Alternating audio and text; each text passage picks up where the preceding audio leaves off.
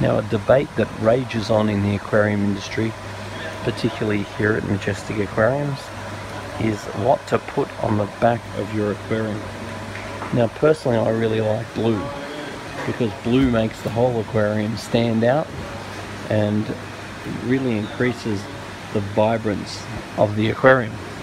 On the other hand, other people swear that black is the best and I have to agree that if you have really really colourful fish or really colourful decorations black sure is nice because the black highlights the colour that and that you have in the aquarium and really accentuates it.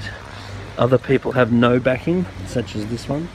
Doesn't have a back at all, so you can see right through the aquarium, which can be quite nice as long as you don't have cords and stuff hanging down that can be distracting. Um, and then the other um, one that people like is Universal Rock. So Universal Rock make really nice backdrops um, this particular one is displayed on the back of the aquarium, but it's really supposed to be in the aquarium. And it's a, it's a realistic looking internal background that really does look cool. So anyway, let's get your vote casted. Are you a fan of the blue? Do you like the vibrance of the blue? Are you a fan of the black? Do you like the the um, the accent whatever the accentuation of the black?